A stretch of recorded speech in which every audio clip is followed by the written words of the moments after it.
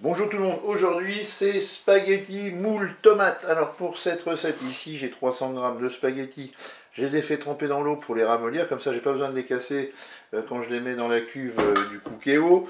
Ici j'ai 500 g, c'est de la moule euh, eh bien, décoquillée surgelée, on a 500 g. Là je vais partir sur une base de 500 ml d'eau et un cube de bouillon de bœuf émietté.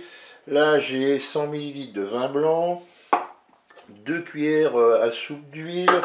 On mettra un petit peu de moutarde, je pense que je mettrai une cuillère à café, une petite boîte de tomates pelées. Là, j'ai 4 gousses d'ail euh, que j'ai euh, hachées au couteau et on mettra du concentré de tomate. On va partir sur une base de 2 cuillères à café. Et eh bien, c'est parti pour notre recette. Je verse l'huile dans la cuve du cookéo et ensuite eh bien, on va pouvoir se mettre euh, en mode manuel et en mode doré. Mon préchauffage est terminé. Je vais pouvoir faire revenir eh bien, mes morceaux d'ail.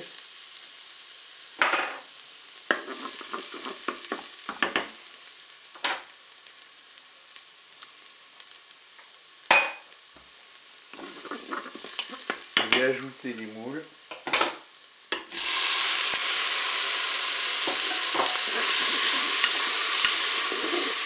Si vous avez du persil, il ne faut pas hésiter. Moi je crois qu'il m'en restait, puis en fait il m'en restait plus.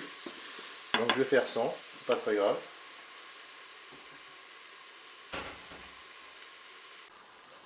Je vais ajouter maintenant mes spaghettis.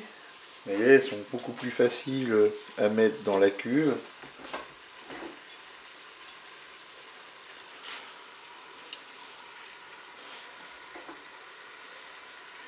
Je vais verser mon bouillon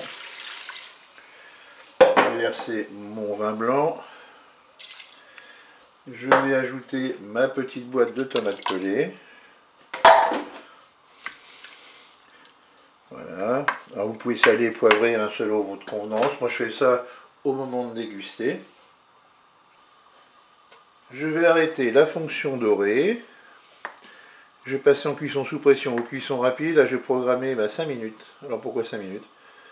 Bien pour ceux qui me connaissent, ils savent comment je fonctionne. Hein. Je prends le temps indiqué sur le paquet de pâtes et je divise par deux. Là pour les spaghettis c'était 10 minutes, et eh bien on va faire 5 minutes. Je fais OK avec un départ immédiat.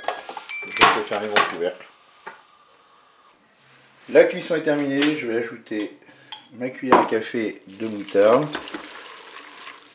Vous mélangez bien.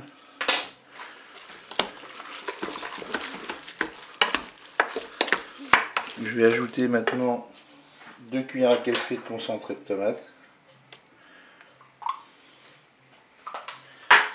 Vous mélangez.